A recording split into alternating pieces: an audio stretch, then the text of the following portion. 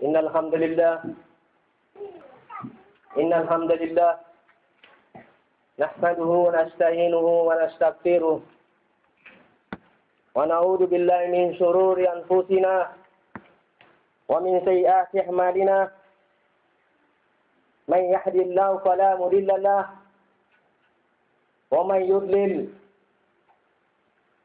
فلا هادي الله أشهد أن لا إله إلا الله وحده لا شريك له.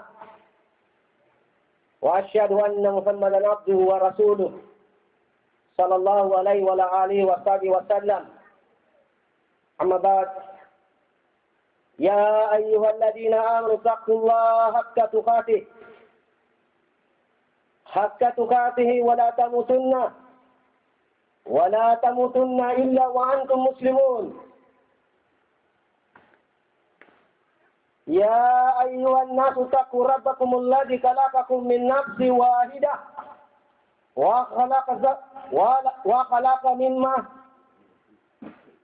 وخلق منها زوجها وبث منهما رجالا كثيرا والنساء واتقوا الله الذي تساءلون به والأرحام إن الله كان عليكم رقيبا يا أيها الذين آمنوا اتقوا الله وقولوا قولا شديدا. وخلق منها زوجها وبث منهما رجالا كثيرا والنساء. واتقوا الله الذي تساءلون به والأرحام. إن الله كان عليكم رقيبا. يا أيها الذين آمنوا اتقوا الله وقولوا قولا شديدا. يصلح لكم أعمالكم ويغفر لكم ذنوبكم ومن يطع الله ورسوله فقد فاز فوزا عظيما. أما بعد فإن أصدق فإن أصدق حديث حديث كتاب الله وخير الهدي هدي محمد صلى الله عليه وسلم وشر الأمور محدثاتها وكل محدثة بدعة وكل بدعة دلالة وكل دلالة في النار متفق عليه ang lahat ng papuri kay Allah subhanahu wa ta'ala. Pinupuri natin siya at pinapasalamatan sa lahat ng mga biyaya na ipinagkaloob sa atin.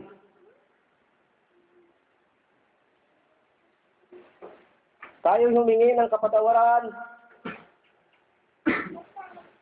kay Allah subhanahu wa ta'ala laban sa mga nagagawa nating mga kasalanan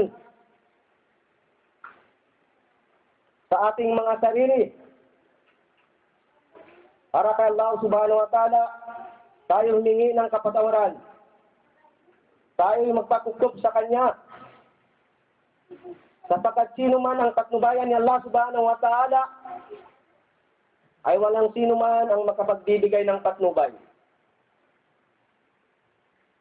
At sino man ang iniligaw ni Allah subhanahu wa ta'ala, ay walang sino man ang mapagbigay ng patnubay. O sino man ang iniligaw ng Allah subhanahu wa ta'ala, ay walang sino man ang makapagbigay ng patnubay. At kung sino man ang inili at kung sino man ang patnubayan ng Allah subhanahu wa ta'ala, ay walang sino man ang makapagliligaw.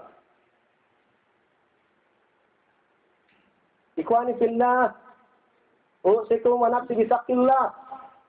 Mga kapatid sa pananampalatayang Islam, nananawagan sa Allah subhanahu wa ta'ala. Mismo ang ating Panginoon na si Allah subhanahu wa ta'ala ay nananawagan sa atin na tayo ay huwag habutan ng kamatayan. Na ang una ang sabi ng Allah subhanahu wa ta'ala,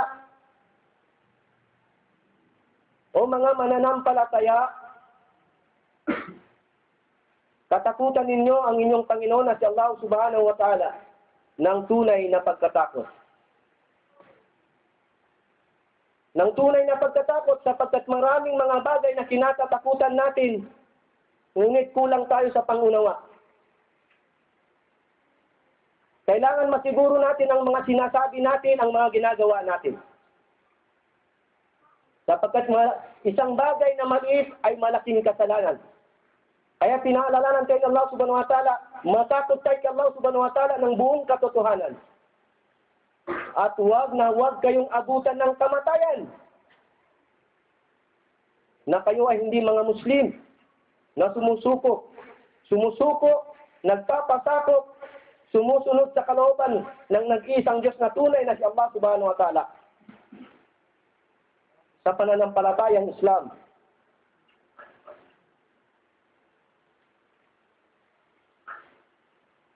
At walang mainam na salita kundi ang Quran ni Allah subhanahu wa ta'ala at walang mainam na patnubay kundi ang patnubay ng Propeta Muhammad sallallahu alaihi wasallam. Sapagkat lahat ng mga innovation o mga gawa-gawa, ito ay pagkaligaw. At alam natin ng lahat ng mga naliligaw ay patungo sa impyerno, sa naraka jahannam. Ito'y paalala sa atin ni Allah subhanahu wa ta'ala. Ang mga ayat na yan na kapag binabanggit ng ating mga ulama,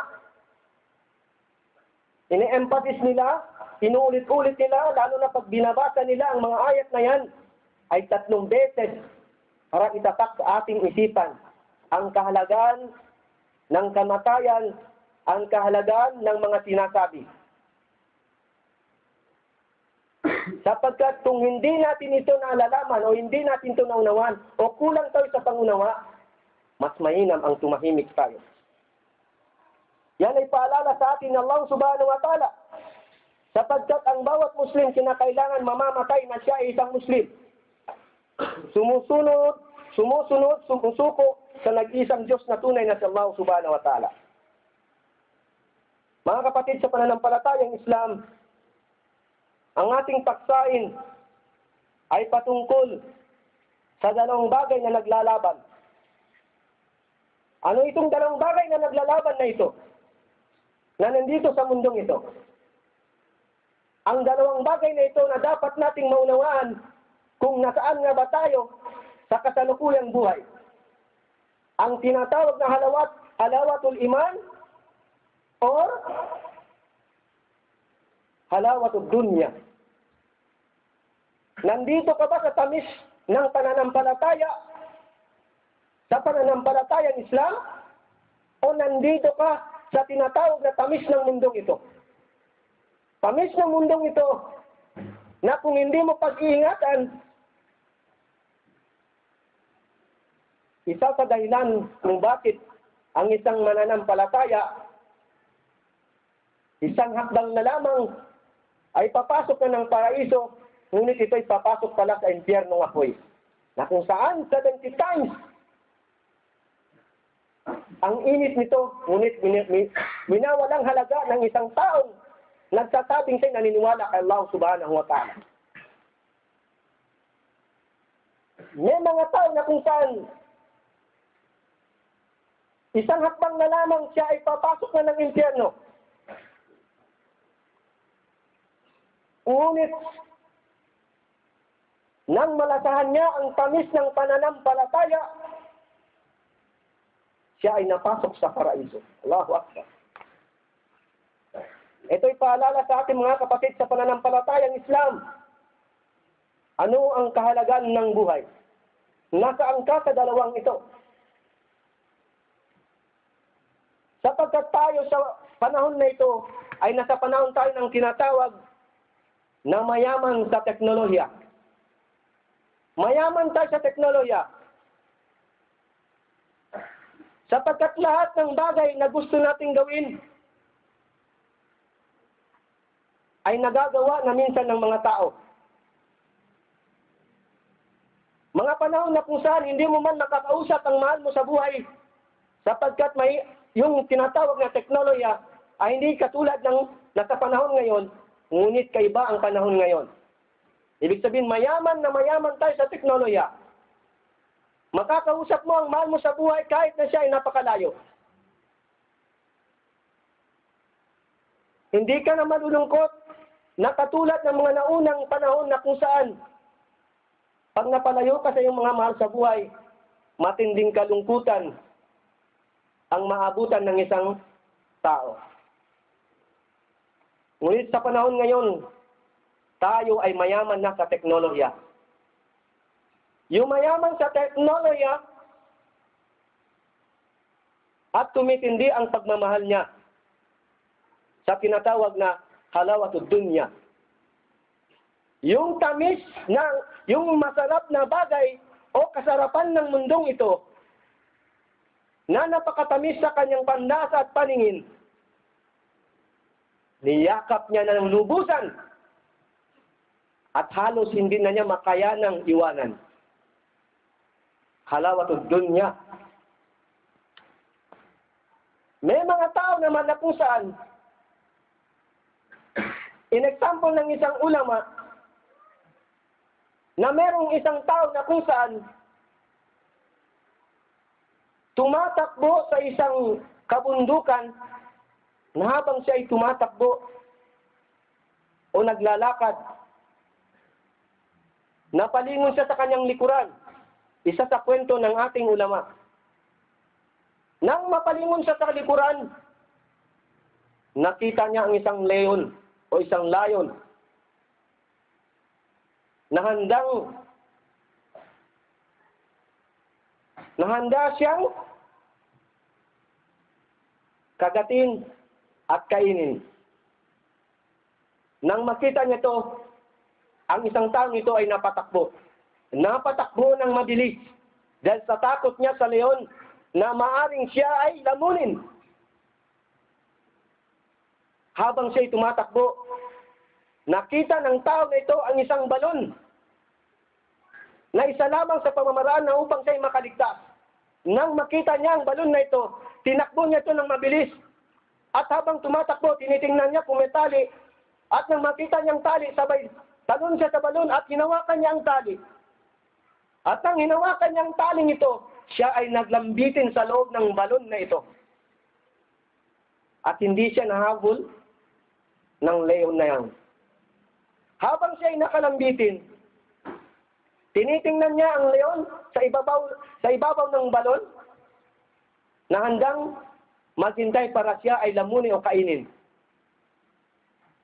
Nung tumingon siya sa baba, nagulat siya sapagkat nang siya tumingin sa baba, nakita niya ang napakalaking sawa na handa rin siyang lamunin kung sakaling siya ay mahulog.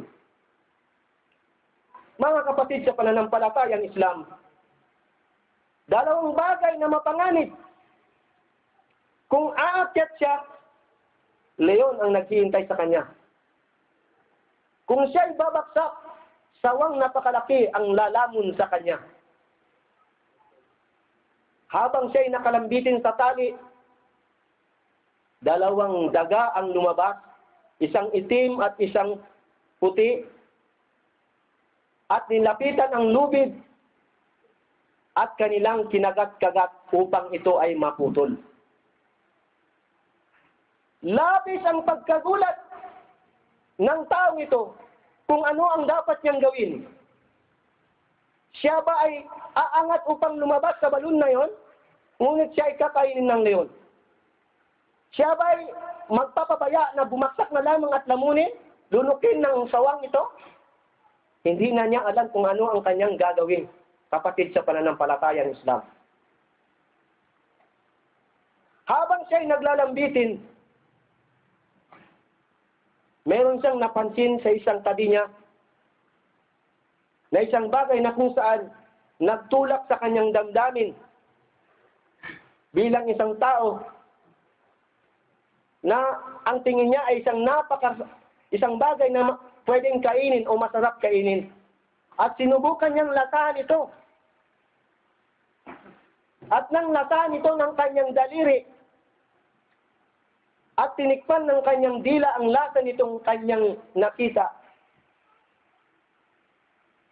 natikman niya ang tamis nitong bagay na ito.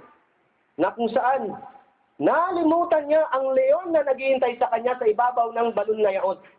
At nalimutan niya ang sawang naghihintay sa kanya sa ibaba ng balon. At nalimutan niya ang dalawang daga na kinakain ng lubid na kanyang hinahawakan o pinaglalambitin. Mga kapatid sa pananampalatayang Islam, bakit ito na ipaliwanag sa atin ng ating Sheikh patungkol sa buhay ng isang tao? Sapagkat ang tao sa mundong ito, kapag unti-unting naunawaan niya kung ano ang mundo, kapag ang isang tao unti-unting nabuhay, nakakakilala ng pagnanasa sa kanyang sarili, at natikman niya ang halawatud dunya. Unti-unti niyang makakalimutan, isang araw siya ay mamamatay rin. Isang araw siya ay babalik doon sa kanyang pinanggalingan. Isang araw na kung saan sinabi mismo ng Propeta Muhammad sallallahu alaihi wasallam, isang araw mararanasan mo ang mararanasan ng nauna pa sa iyo. Pero dahil sa tamis ng mundong ito, kahit nakikita ng dalawang mata ang mga bagay na dapat katakutan ng isang tao, ngunit nabaliwala. Dahil minsan ang tao gustong maging bida. Gustong maging bida ang mga tao. Ayaw niyang maging kontrabida. Pero hindi niya naunawaan ang kanyang mga ginagawa at mga sinasabi. Ito'y paalala, paalala sa atin kung gaano kahalaga ang mundong ito at gaano kahalaga ang kabilang buhay. At kung ating babalikan ang kwentong ito, kung ano ang layon na yon o ang leon na yon, yun pala ang leon na kung saan ito ang kamatayan na pinipilit nating takasan. Pinipilit nating takasan At tayo ay tumatakbo para ito ay iwasan. Ngunit hindi natin nalalaman na ito kahit anong gawin nating pag-iwas, ito ay sasalubong at sasalubong sa iyo. At ang sawang naghihintay sa iyo sa baba, ito ang libingan na kung saan hindi mo inihanda ang iyong sarili na ikaw ay papasok din sa libingan. Na kung saan ang isang tao kapag ipinasok sa libingan, kung isa siyang marangal na mananampalataya, matitikman niya sa loob ng libingan ang tamis ng paraiso. Allahu Akbar. Na hindi pa man lubusang ibinigay sa kanya ni Allah subhanahu wa ta'ala, ay matat, matitikman niya ang tamis ng paraiso sa loob ng libingan. At ang dagaya na yaon na kung saan yung itim at puti na daga ito ang araw at gabi na hindi niya pinapansin ang oras na tumatakbo sa kanyang buhay. Wala siyang ginawa. Dahil malawak na naman ang teknolohiya ngayon. Ubusin mo oras mo sa Facebook, chismis. Ubusin mo yung oras mo doon sa paghahanap ng mga mapapangasawa mo na kahit hindi mo kilala. Dahil masunod mo lamang ang pagnanasa mo. Masiraan mo ang kapatid mo Mapakialaman mo ang buhay ng isang mananampalataya. Isang maalam sirain mo dahil lamang sa gusto mong maging bida. Nakakahiya. Dahil hindi ka totoong naniniwala kay Allah subhanahu wa ta'ala ng lubusan. Wala sa iyo ang tinatawag na halawatul iman. Ang tamis ng pananampalataya ay wala sa iyong puso't damdamin. Wala sa iyong buong katawan kapatid sa pananampalatayang Islam. Ito'y panawagan sa atin ni Allah subhanahu wa ta'ala. Gaano katamis ang iyong pananampalataya, kapatid sa pananampalataya Islam. At ang lubid na iyong kinatatakutan na, maputol, na maputol, ito ang buhay mo na kung saan alam mong matatatos din. Ngunit pinipilit mo pa rin magsaya sa mundong ito. Tinatakpan mo ang sarili mo sa mga bagay na inakala mo. Pero nakalimutan mo ang sinabi ng Allah subhanahu wa ta'ala, sa Quran na manipit binabasa sa, sa chapter 3 ng Suratul Imran, verse 185, ang sinabi ng Allah subhanahu wa ta'ala, kung hindi ako nagkakamali. kullu nafsin da'ikatul maut. Wa inna wa inna ma tuwafuna ujurakum yawmal qiyamah. Lahat ng buhay, lahat ng may buhay makakatikim ng kamatayan. At tanging sa araw lamang ng paghukom sa yawmul qiyamah, gat ikaw ay ganap na makukuha mo ang sapat na kabayaran. Paman ziza anil nar